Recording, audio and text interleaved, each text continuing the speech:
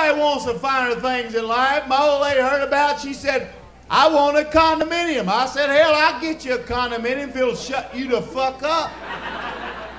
I went and bought her one, paid ninety thousand dollars for this son of a bitch.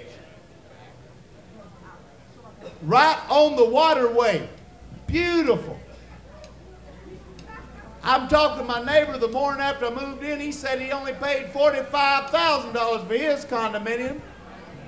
I called the real estate people. I said, How come I paid so much for my condominium? They said, Yours has got a magic mirror.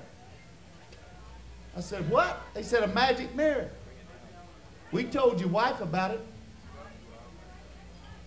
I went in, I said, honey, how come I paid so much money? She said, the magic mirror, dumbass. Watch this. She goes back to the bedroom, opens her robe, said, magic mirror, more and more, make my chest a 44. Come running to me and said, look what I got. I said, son of a bitch, where'd you get that? She said, the magic mirror. I figured, what the hell, I'll give it a shot. I got nothing to lose. I opened my robe, I said, magic mirror, more and more, make mine drag the floor. My fucking legs fell off.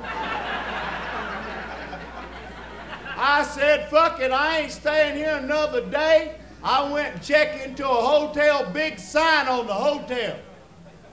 Special rates, $29 a day. Stayed two days, got ready to check out. Man said, that'll be $480.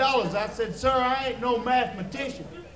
But 29 times 2 is around 58 fucking dollars, ain't it?